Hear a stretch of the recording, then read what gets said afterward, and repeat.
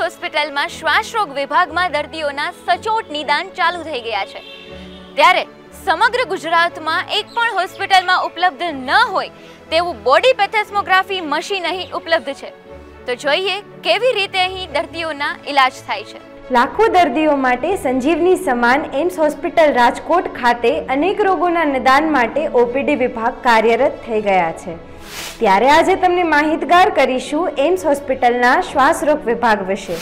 Abtak media દ્વારા AIIMS હોસ્પિટલના શ્વાસરોગ વિભાગની રૂબરૂ મુલાકાત રહી ગ્રાઉન્ડ રિપોર્ટ થકી જનતાને માહિતગાર કર્યા હતા.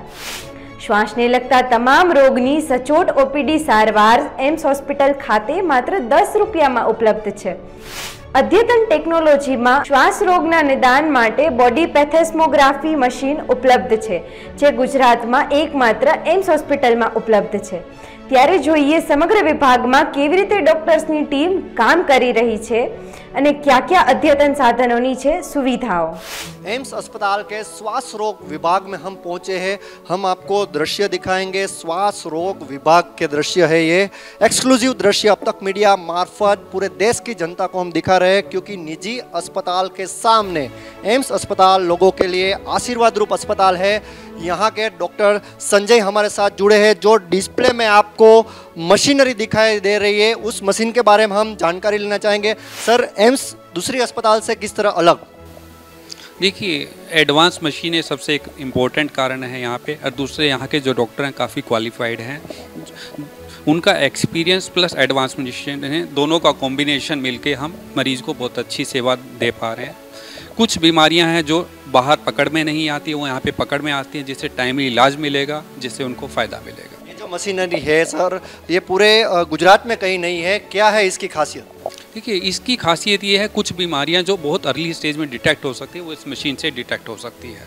इस मशीन का नाम बॉडी बॉक्स कहा जाता है जो एक बीमारी होती है आईएलडी जिसमें फेफड़ा सिकुड़ने लगता है उसको हम अर्ली स्टेज में डायग्नोज कर सकते हैं। तो इस मशीन का महत्व है। कौन कौन से सर इक्विपमेंट ऐसे हैं जो पूरे गुजरात में कहीं नहीं है पर एम्स में है?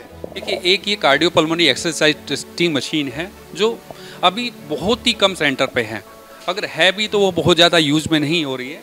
तो इस मशीन का ये महत्व है कि अगर कोई बीमारी है उसको सांस, क्योंकि सांस फूलने के बहुत सारे कारण हो सकते हैं। जैसे कि लंग्स हो सकता है, उसके अलावा हार्ट की बीमारी हो सकती है, या खून की कमी हो सकती है, या उसकी आदत की वजह से भी वो रेगुलर एक्सरसाइज नहीं करता, वो भी एक फैक्टर हो सकता है उसकी सांस फूलने का।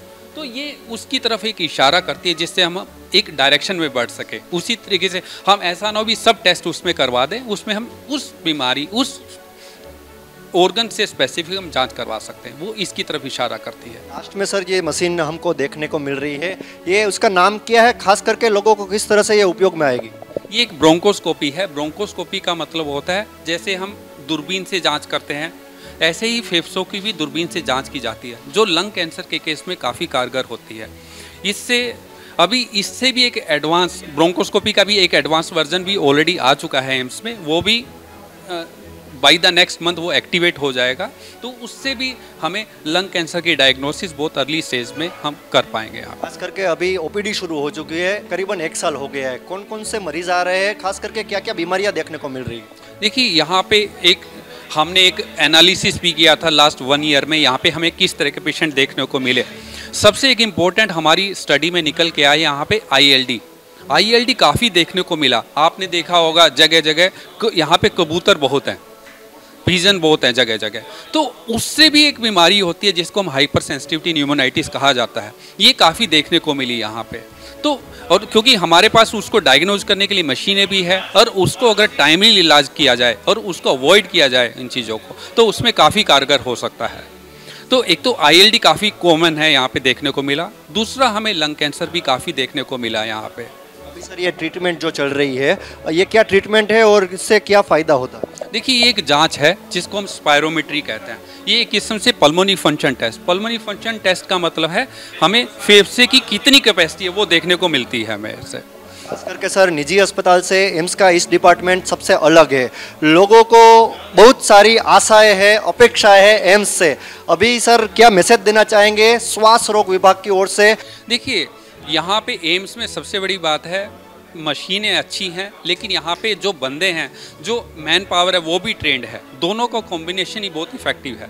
तो लेकिन मैं यहाँ पे राजकोट में सबसे एक चीज़ कहना चाहूँगा, व्यसन त्यागें। क्योंकि व्यसन बहुत सी बीमारियों का कारण बनता है। जैसे स्मोकिंग यहाँ पे गुटखा, तंबाकू, जैसे यहाँ पे मावा कहते हैं यहाँ पे। तो उस सबको छोड़ें, जिससे उनको, क्योंकि ये बहुत सी बीमारियों का कारण बनते हैं। चार्जेस क्या है? ओपीडी का तो दस रुपए है परंतु जो जिसको रिपोर्ट करवाना पड़े तो उसके चार्जेस क्या क्या? है तो वो भी चार्जेस बहुत मिनिमम है। जैसे एक जाँच है स्पायरोमेट्री यहाँ पे इसका चार्जेस वन फिफ्टी रुपीज़ है। जबकि अगर आप ये प्राइवेट में करवाएँगे इसका ही charges eight hundred rupees minimum पड़ता है। कुछ जगह इसका चार्जेस थाउज़ेंड में भी होता है। खास करके सबसे बड़े चार्जेस जहाँ पे बाहर लगते हो निजी अस्पताल में ऐसे कौन से चार्जेस है जो एम्स हॉस्पिटल के ये श्वास रोग विभाग में बहुत सस्ते में होते हैं? हाँ जैसे स्पायरोमेट्री ही है। ये वन फिफ्टी रुपीज़ का है, जबकि बाहर अगर इसको हम करवाएँगे 800 से 1200 रुपए की जाँच होती है। कार्डियोपल्मोनरी एक्सरसाइज टेस्टिंग है, इसका हम सिर्फ़ टू फिफ्टी रुपीज़ चार्ज करते हैं, जबकि बाहर यही जाँच अगर हम करवाएँगे तो ये फाइव थाउज़ेंड में पड़ेगा। ब्रोंकोस्कोपी है, इसका चार्जेज हमने सिर्फ़ फाइव हंड्रेड रुपीज़ रखा है, जबकि बाहर यही टेन थाउज़ेंड अप्रोक्सीमेट में पड़ेगा। जिस तरह डॉक्टर संजय ने अब तक मीडिया से एक्सक्लूसिव बात की, श्वास रोग विभाग का यह दृश्य है, जो पूरा डिपार्टमेंट हमने आपको बताया कि एम्स एक लोगों के लिए आशीर्वाद समान अस्पताल है। आपको कोई भी श्वास रोग के तहत दर्द हो तो एम्स की विज़िट आप अवश्य लें। कैमरा पर्सन दीपेश गरोदरा के साथ ऋषि दवे, अब तक मीडिया, राजकोट।